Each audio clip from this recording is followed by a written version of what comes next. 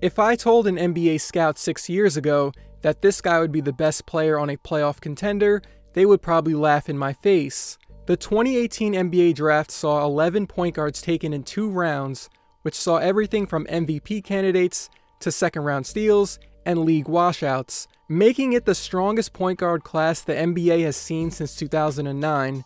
So, six years after the draft, what do the careers look like today for every point guard from the 2018 class, and what does the future hold? But first, Guys, it's the last weekend for us to watch football, and I've teamed up with DraftKings Sportsbook, an official partner of the NFL, to give you an offer at a shot at the crown. DraftKings is giving all new customers $200 in bonus bets instantly when they place their first $5 bet on any wager. That's correct, new customers who bet just $5 will get $200 in bonus bets instantly when they download the DraftKings app and sign up using my promo code CAINE. All you gotta do is make a prediction to get in on it. You can do that with DraftKings' same game parlays. You can put together multiple bets on games like Super Bowl 58 to give yourself a shot at even bigger winnings. If you're already a DraftKings customer, you can make a bet on Super Bowl 58 and get a bonus bet back in the amount of your initial wager. Max reward varies. And if sports betting is not yet available in your state, you can still join in on the fun with DraftKings Daily Fantasy Sports. Download the DraftKings Sportsbook app now. New customers use my promo code CAINE and bet just $5 on any wager and get $200 in bonus bets instantly. That's promo code CAINE only at DraftKings Sportsbook. The crown is yours. Originally, the Atlanta Hawks had the number 3 overall pick, but because former general manager Travis Schlenk held the belief that the more swings you get in the draft lottery, the more chances you have to get a hit, they searched around to find a trade partner and get more draft assets, and they found a team willing to trade with them on the night of the 2018 draft. Atlanta traded the draft rights to Luka Doncic to Dallas in exchange for the draft rights to Trae Young and a protected first round pick the following year, which ended up being used on Cam Reddish. The Mavs have been looking for a savior ever since they blew up their 2011 title team, and with Dirk Nowitzki's retirement around the corner, the Mavs fan base had someone to rally around. At 6'7, 230 pounds, Luka was a jumbo playmaker that manipulated the best defenses in the EuroLeague. Having a combination of skill and size at lead guard, there was a lot of confidence from people that thought Luka could help the Mavs right away. The two biggest criticisms you heard were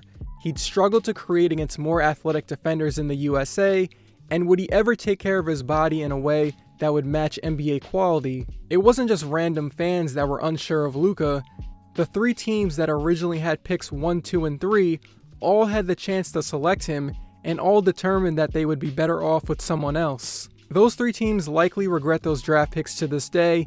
In year 1, Doncic ran away with the Rookie of the Year. In year 2, he scored 42 points in his playoff debut. In year 4, he ripped the soul from the city of Phoenix and led Dallas to their first conference finals appearance in over 10 years.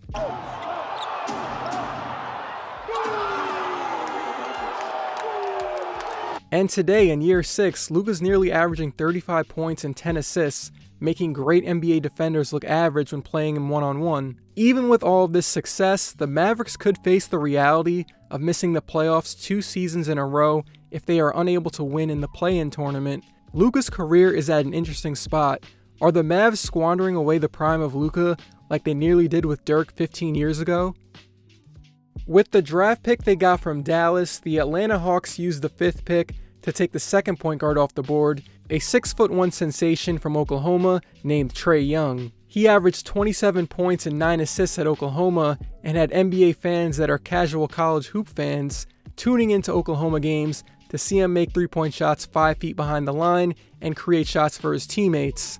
Trae wasn't Steph Curry, but he saw similar criticisms about his small physical frame that made six teams pass on Steph eight years before. Six years later, Trae's career is at an interesting spot.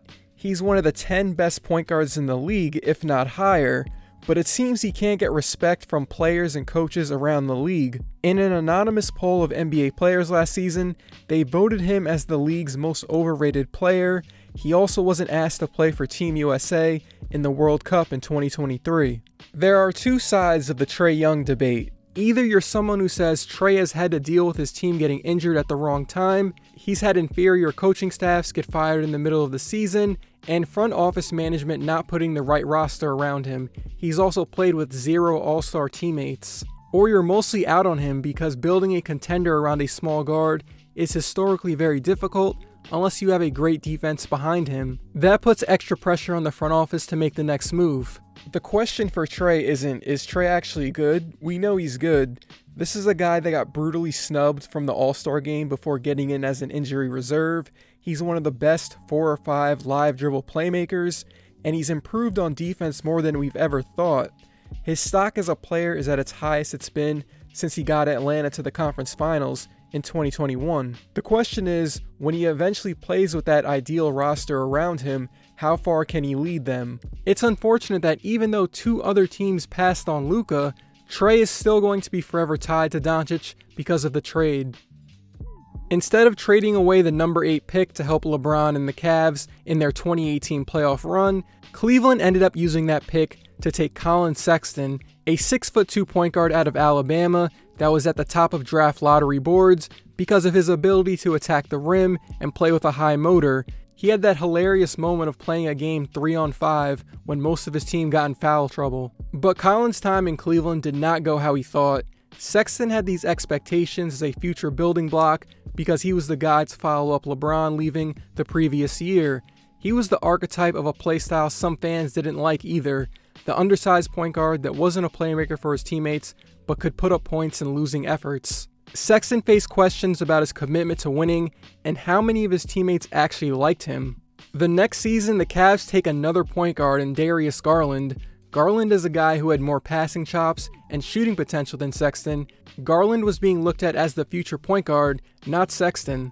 To make things worse, Sexton tears his knee in the last year of his rookie contract, missing the entire season, and then gets sent to Utah in a trade where you weren't sure what was next for him. He's put up more points per game in previous seasons, but in 2024, Collin Sexton has quietly worked in the background and having the best playmaking season of his career, he's affecting the win column more than he ever has in Utah. This is a low pressure spot where he's been able to improve his weaknesses and grow with a team where he's not expected to be the face of a franchise. Just like the Dallas Mavericks did in this draft, the Los Angeles Clippers traded up to get a point guard. They sent two second round picks to the Charlotte Hornets to move up from the 12th pick to the 11th. They used it to select Kentucky freshman Shai Gilgeous-Alexander. The first thing that stood out to NBA teams was his size for the position. He was measured in at 6'6 with a 6'11 wingspan. Not only could he play the lead guard role, he could also play next to another ball dominant perimeter player. Even though he didn't have this jump off of your screen first step, he played at his own rhythm and would find angles to slide past defenders to score at the rim. But because of his slender frame, unreliable three point shot, and mediocre blow by ability on the perimeter, yes, you heard that right, he was seen as a low end starter at the next level. By year 6, SGA is no longer a member of the LA Clippers.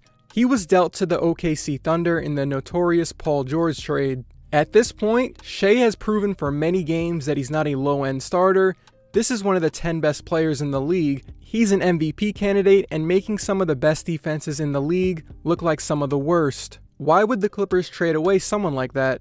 This wasn't a case of an NBA team giving up on a young player before the rest of the league could find out.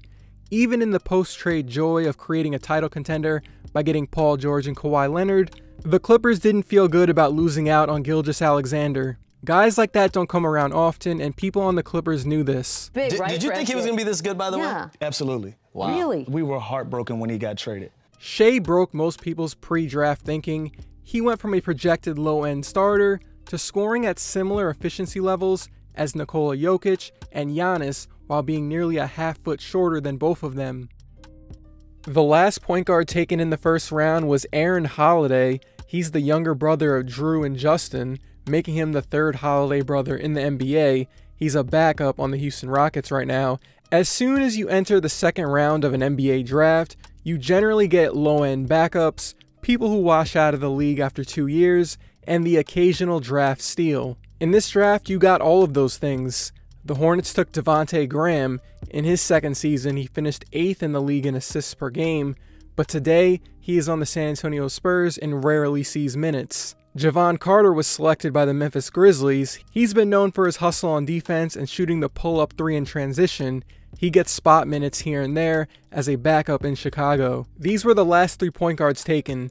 Elie Okobo, who last played in Phoenix in 2020, Issuf Sanon, who never played a minute in Washington, and Tony Carr, who also never played a minute in the NBA. But there was one more player taken in the second round, and he turned out to be one of the biggest draft steals of the past 10 seasons. The Dallas Mavericks had four draft picks in 2018, and with the 33rd pick, they selected a junior point guard out of Villanova named Jalen Brunson. Brunson was a part of two national title teams and in his final year won the Bob Cousy Award as the best point guard in the country. NBA teams like that he could be trusted to set up an offense, score from all three levels of the floor, and use his back to basket game as a different way to attack defenses from the perimeter. But there were many questions about his upside at the next level because of his athletic and size limitations. He's listed at 6 foot 2, has a small wingspan, so he wasn't going to be able to guard more than one position.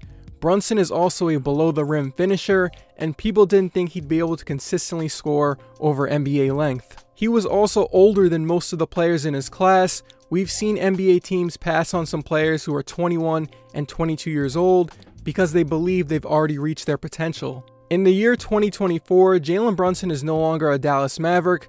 Brunson is now the point guard of the New York Knicks, and not only is he one of the NBA's best point guards, but he's the best point guard the Knicks have had in over 40 years. The snowball of Brunson becoming this version of himself started back in 2021 when the Mavericks declined to offer him a four year, $55 million deal. He was able to hold down the fort for Dallas when Luka Doncic was out due to an injury and helped upset the higher seed Utah Jazz, which included a 41 and 31 point game in the series. Even after all of those games in the playoffs, the $104 million contract he signed in the summer of 2022 with the Knicks got some pushback. That contract is now one of the best value deals in the league. There are over 60 players that have a higher average annual salary than Jalen Brunson, and his salary decreases again next year. Brunson is the unquestioned best player on the most respected Knicks team in years, was selected to his first All Star team, and is likely going to make an All NBA team in two months. He is a blueprint for small guards. It is not normal for a guy that's barely over 6 feet tall to be this good at scoring over NBA length. What's the verdict for these guys? The 2018 NBA draft is one of the best point guard classes the league has ever seen. Headlined by Luka, Trae Young, SGA, and Jalen Brunson, you have four players who range from all stars to MVP candidates. When you compare to other classes near it, 2018 either wins by a decent margin or completely wipes them out. Not many classes can match it other than 2009 and 1996.